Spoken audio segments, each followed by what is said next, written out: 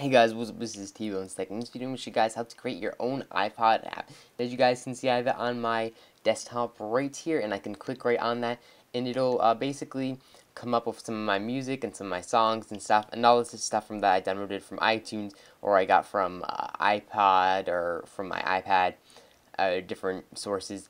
But um, wherever you guys get your music from, you can put it in right here, and what this is perfect for is downloading music from uh, different places uh, that are not iTunes and then you don't know where it's located and it goes into your downloads and that kind of just clogs it up with tons of random music and you can't find stuff like pictures that you've downloaded or anything good like that.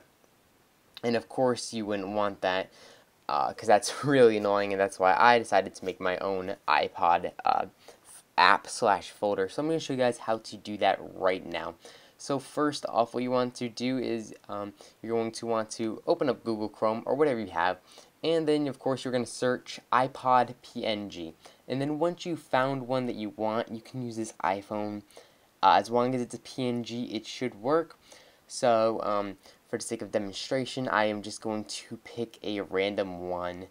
Uh, that I've never used before. Something like this would not work because it would actually show you that. It wouldn't just show you the one iPod.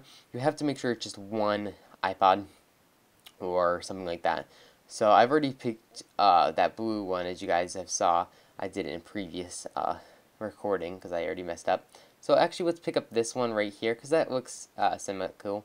So what you're going to do is you're going to hit copy image and then what you're going to do is you're going to go to uh, uh, new folder, uh, title it iPod, actually that lowercase i, and I'm going to put iPod 2 just for the sake of demonstration again because I already have iPod here and I don't want to mess up anything as far as that goes. So what I'm going to do is I'm just going to drag it into, of course, Finder. And as you guys can see, iPod 2. Then what you're going to want to do is right click and get info. Then you're going to see your folder, you're going to click on it, and as you can see it's highlighted here. Then you're going to hit Command V. Since you already copied it, Command V is paste. So um, if you really wanted, I guess you could go edit, uh, paste, and as you guys could see it said command V right. Um, yeah command V is how you paste. Of course you guys probably already know that. Um, so basically what I'm going to do is um, let's see go over here and I'm going to um, force quit uh, iPhoto because I don't want you guys to see my photos. I'm sorry that I opened that up, I really don't want to record this again. As you guys can see, it did put a little white here, so you're going to have to make sure that you can find the right icon with transparency on. So let's go back here, and that's my bad. So again, you're going to have to find it with transparency on. So we're going to go back over to uh, the good old faithful, this one right here. We're going to copy the image. We're going to go back over here. And of course, we're going to hit Command V or go up to edit and hit paste and as you guys can see uh, transparency is on so you don't have that white ugliness around it.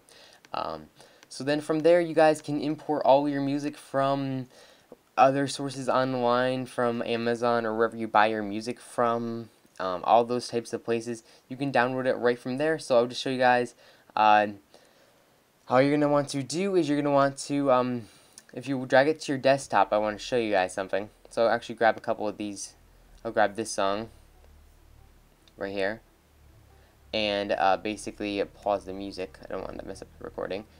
Um, but what you're going to do is you're going to just drag the music to your iPod.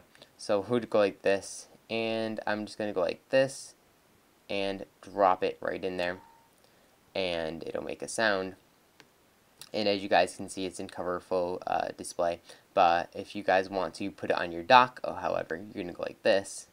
And then as you guys can see it shows the uh, music the latest music import that you put on there. So you're gonna want to do is you're gonna want to display it as folder. So we'll just click that. And then as you guys can see it shows a pretty cool iPod icon. Now from there you can make it bigger smaller whatever you want. Um, so it's pretty cool. Uh, let's see right here. You can um, you can do all this different kind of stuff but of course we're not going to do that right now so thank you guys for watching this video if you enjoyed it please do hit that share button or that like button or that subscribe button any of those buttons would be awesome if you did it um, And that's it for this video. If you guys get any questions, leave it down in the comments down below. Again, uh, anything about transparency, because a lot of people don't understand what that is.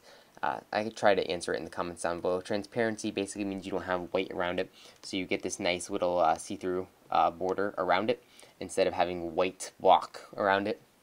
So you got to find it as a PNG. I'm not sure if I said DMG in the first spot, but as you guys see, PNG right here.